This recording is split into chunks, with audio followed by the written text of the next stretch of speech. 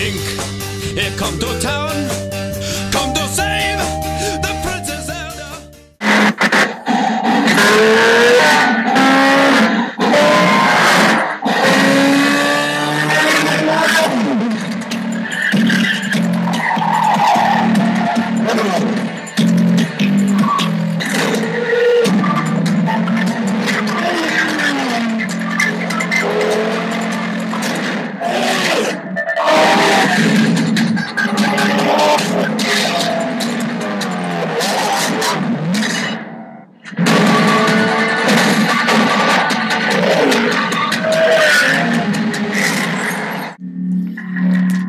Guys, welcome back to uh, the Video Game Viewer. Um, today I'm going to be reviewing Need for Speed Shift. Now, the concept of this game is there is no concept of this game. It's just to race. That's it.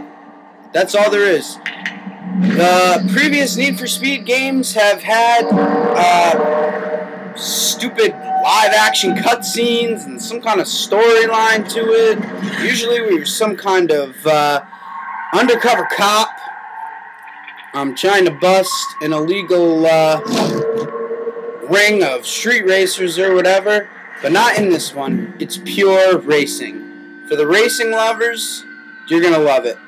Everything is action packed. The graphics are spot on in this game. I mean, some of the best graphics I've seen from a Need for Speed game ever. Um, even on even the other Xbox 360 games, uh, Carbon, um, Hot Pursuit, or whatever it was. Um, I'm not a big Need for Speed fan, but this game I really liked. I had to buy this game. I had to own it, it, it and I'm glad I own it because it's that good. Um, like I said, some of the best graphics uh, in any of the Need for Speed games. You know, Need for Speed has been struggling for a while to come out with a good game, and uh, they they finally nailed it on the head here. So,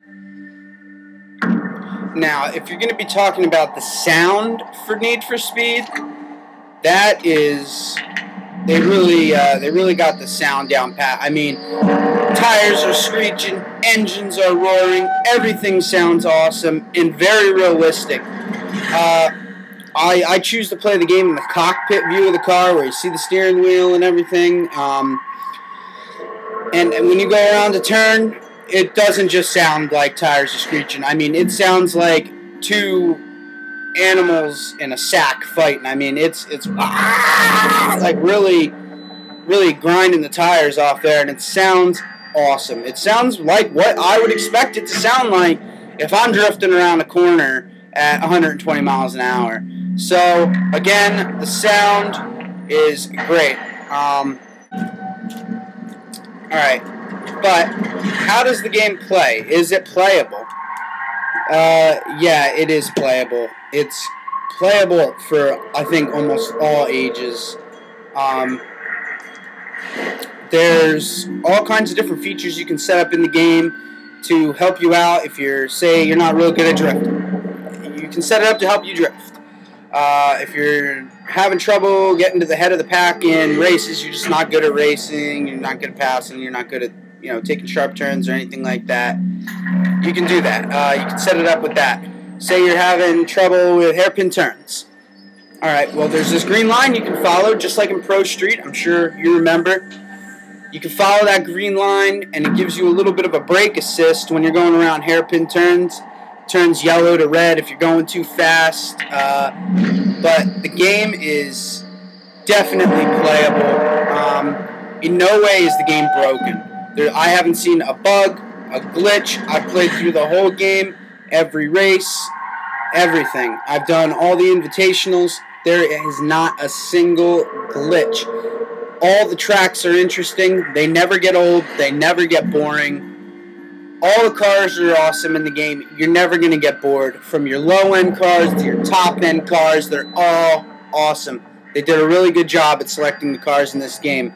So, from the cars to the to the racetracks, everything's spot on. The only thing that is, uh, well, I wouldn't say it's bad, Um, it's actually uh, kind of fun. You earn money a little bit too quick in the game, um, which I said it's fun, but kind of takes away from the challenge a little bit. I mean, within the first two or three hours, I mean, if you didn't spend anything, you'd have enough to go buy yourself like a nice Lambo. So, I mean, but other than that, I mean, some people want to earn money quick in the game so they can get those high end cars right away. So, other than that, um, the game is definitely challenging enough. Um, there's different difficulty settings. Uh, right now, I think I have it on normal, and it's still pretty challenging. It starts out way too easy, um, and I was bitching because oh, I set it on normal, and you can't change it once you start a game. So I was bitching about that because I thought the whole game was going to be that. But once I got to the third tier of races, it definitely started to challenge me in my driving skills a little bit. Um, so that's uh, that's the playability. Definitely playable and a great game. Alright guys, um, I gave you what I think about the game. Um, now I'm going to tell you about some additional content that you might or might not want to get with the game. I have here the steering wheel. And the foot pedals.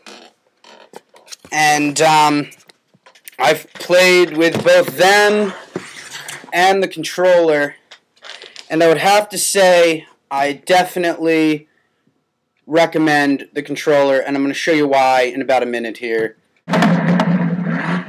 Alright, I'm going to show you how the pedals work in a race and how they're better or worse. Alright, so this is me playing with uh, with the wheel here. Um, you can see I'm kind of sliding out. It's kind of touchy.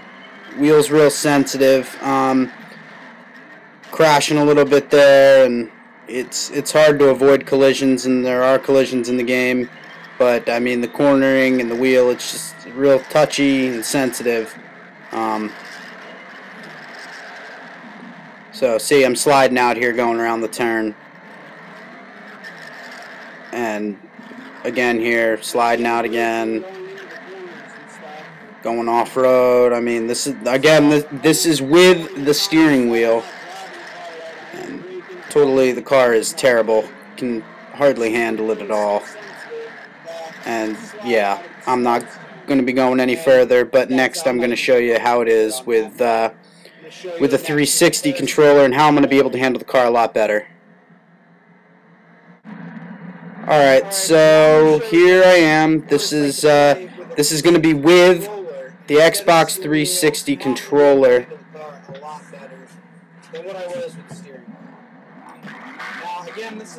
Um, it's a little bit easier with the controller because you have the gas and the brake on your right and left fingers, so not you're not going to be worrying about switching feet. Not to mention if you're under 16 and you've never driven a car before, uh, you might not even have any clue. But you can see I'm definitely working my way up through the pack here. Um, this is one of the more one of the more challenging laps, but or race courses, but slid out a little bit there. But uh, I mean, you're going to slide out a little bit even with the controller, so it doesn't really matter. But um, definitely working my way up.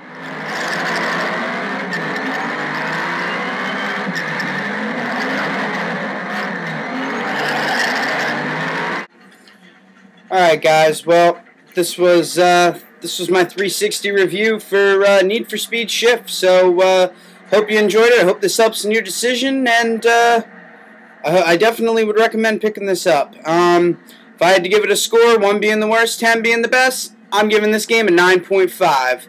Thanks for watching. This has been Video Game Viewer.